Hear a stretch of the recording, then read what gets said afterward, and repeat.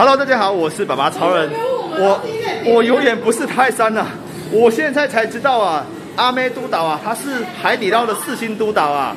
他来海底捞吃的非常频繁哦。四星的话，他的条件是什么？你可以说明一下吗？我记得好像是每个礼拜要吃吃三次还是四次的样子，然后平均，然后要连续吃八个礼拜，对不对？还是怎么样？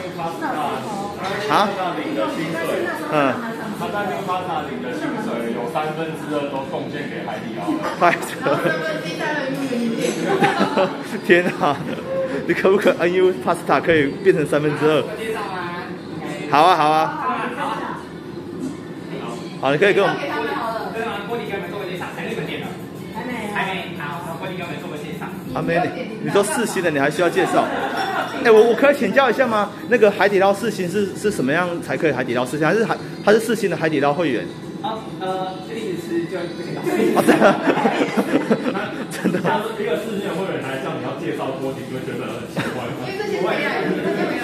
哦，我们介绍一下，我们锅底有分鸳鸯锅跟四宫格两种？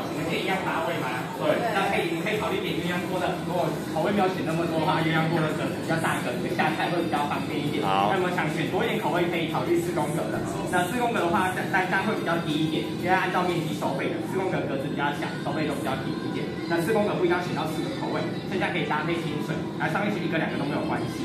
那我们的招牌呢是麻辣锅跟三鲜火锅，麻辣锅分为牛油跟清油，牛油吃起来会比较香一点，辣度的话比较没有这么辣，清油会比较辣比较麻。如果你们有想要吃辣一点，可以考虑清油的。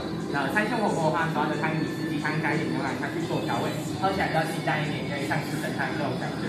那剩下的口味就再给你们做个选择，大家选好锅底呃锅型跟锅底口味再跟我说一下，我帮你们下单就可以了。好的，谢谢你，谢谢。